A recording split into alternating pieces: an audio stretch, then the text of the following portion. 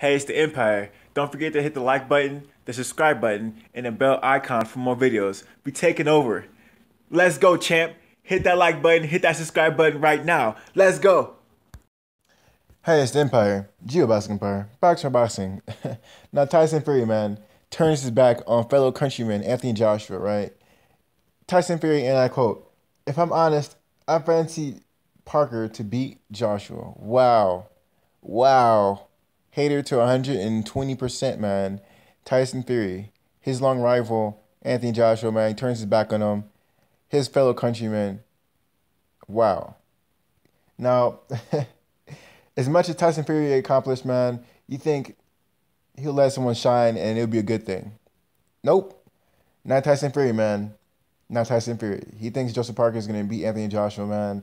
He thinks he's is too good for AJ. I'm gonna read quote for you guys, right? I'm gonna read a couple quotes for you guys. Tyson Fury. If I'm honest, I fancy Parker, and that's being and that's being gospel. Fury said to the Pound for Pound podcast, he's young and ambitious. He's got fast hands. He hits hard. He fights excellent against opponents who stand still and don't move. Another thing is, I never met um, Mary, Murray that ain't tough. They're all tough as teak right?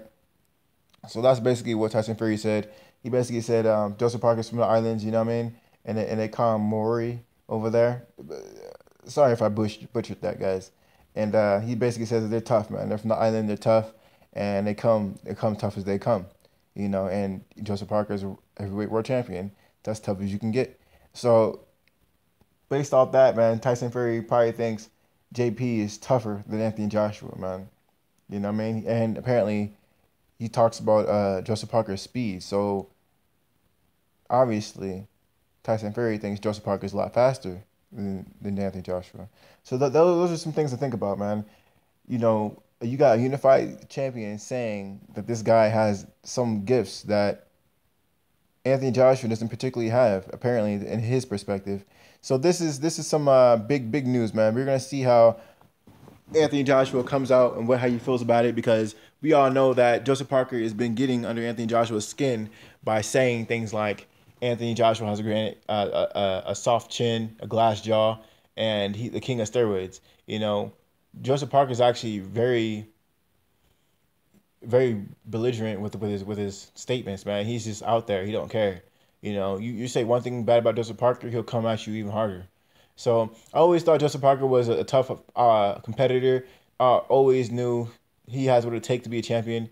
He proved that he's he has a fighter's mentality when he went to Hughie Fury's backyard in Britain and beat the guy in his hometown in, in front of his crowd. You know, something Joseph Parker didn't need to do because he is a champion, but he gave the contender opportunity, undefeated undefeated Hughie Fury a chance. And this is a big deal, uh, speaking that Hughie Fury is Tyson Fury's cousin.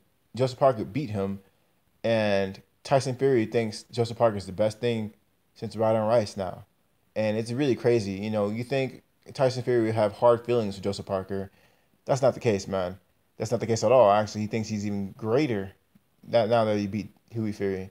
So this could be just him trying to hype him up. Usually when fighters lose to a guy, they always want to give the guy credit Tyson Fury could be giving him credit just because he beat his cousin, or he could just not like Anthony Joshua and just just wanted him to lose. Period. So we'll, we'll, see how Anthony Joshua responds to this. This is a big deal. Uh, Joseph Parker is definitely going to the Lions Den fighting Anthony Joshua in his backyard, and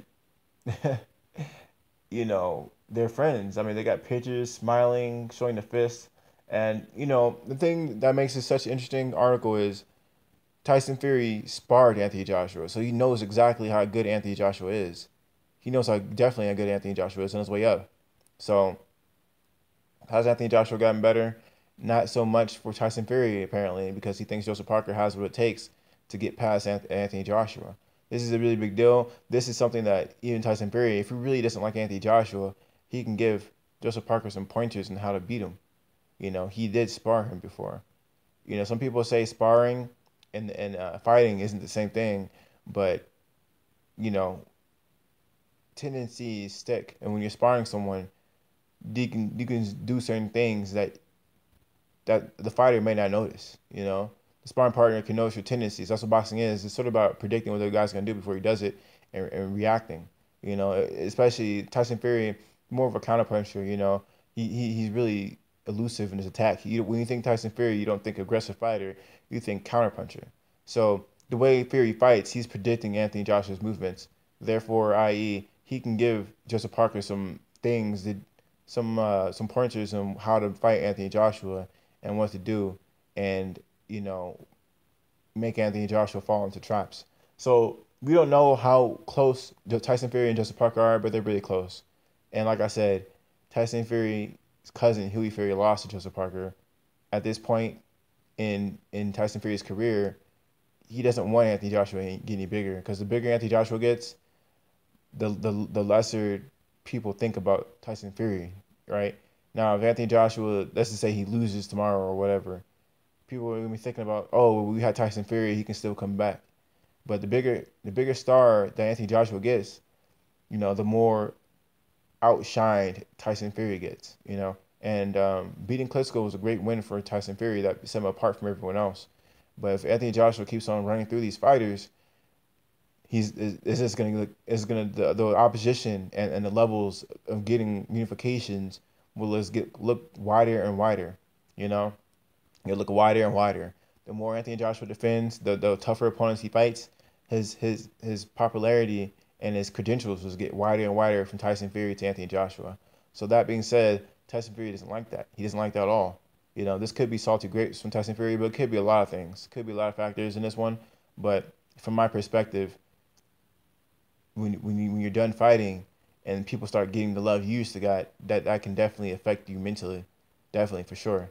You know, so let me know how you guys feel about it. You guys think Tyson Fury is picking J. Joseph Parker for a reason? Uh, is it is it for his own benefit? Is it because he think actually thinks he's better than Anthony Joshua? Or let me know how you guys feel about it. So let me know how you guys feel. Like, comment, subscribe. This is the Empire. GeoBoxing Empire. Peace. Empire. Peace.